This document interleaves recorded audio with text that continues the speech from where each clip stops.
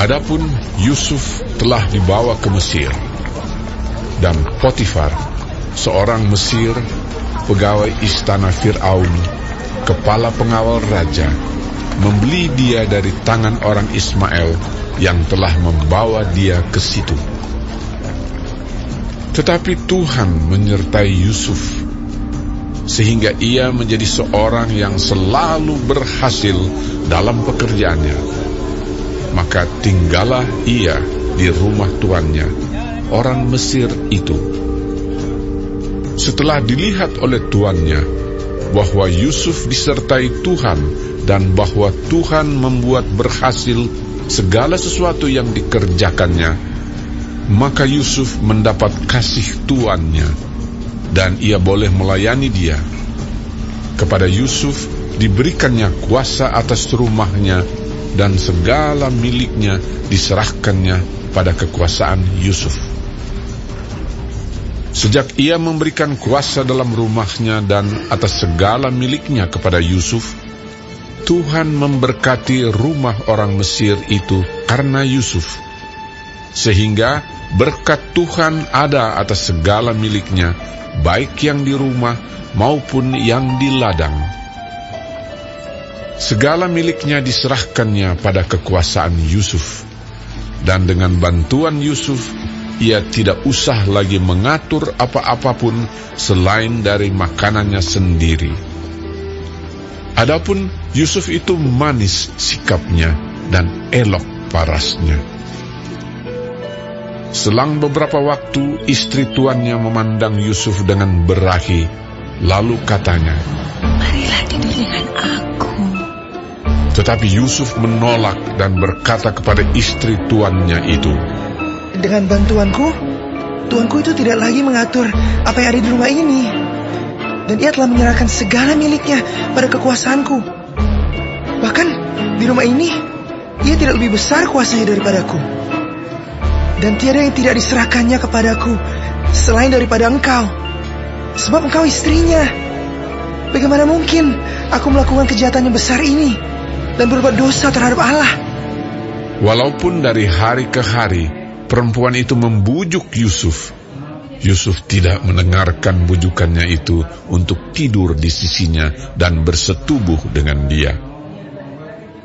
Pada suatu hari, masuklah Yusuf ke dalam rumah untuk melakukan pekerjaannya.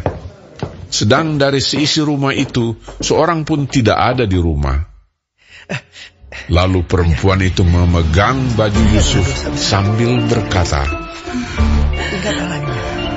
Marilah tidur dengan aku. Tetapi Yusuf meninggalkan bajunya di tangan perempuan itu dan lari keluar. Ketika dilihat perempuan itu bahwa Yusuf meninggalkan bajunya dalam tangannya dan telah lari keluar, Dipanggilnyalah seisi rumah itu, lalu katanya kepada mereka, Lihat, dibawanya kemari seorang Ibrani, supaya orang ini dapat mempermainkan kita. Orang ini mendekati aku untuk tidur dengan aku. Tetapi aku berteriak-teriak dengan suara keras. Dan ketika didengarnya bahwa aku berteriak sekeras-kerasnya, ditinggalkannya lah bajunya padaku. Lalu ia lari keluar. Juga ditaruhnya baju Yusuf itu di sisinya sampai tuan rumah pulang. Perkataan itu jugalah yang diceritakan perempuan itu kepada Potifar, katanya.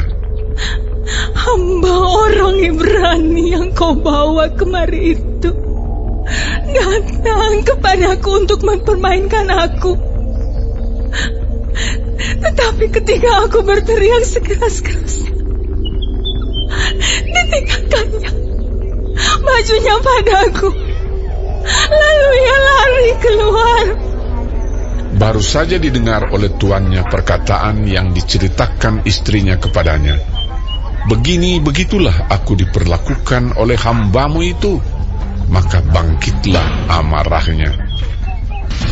Lalu Yusuf ditangkap oleh tuannya dan dimasukkan ke dalam penjara, tempat tahanan-tahanan raja dikurung. Demikianlah Yusuf dipenjarakan di sana. Tetapi Tuhan menyertai Yusuf dan melimpahkan kasih setianya kepadanya, dan membuat Yusuf kesayangan bagi kepala penjara itu. Sebab itu, kepala penjara mempercayakan semua tahanan dalam penjara itu kepada Yusuf, dan segala pekerjaan yang harus dilakukan di situ, dialah yang mengurusnya.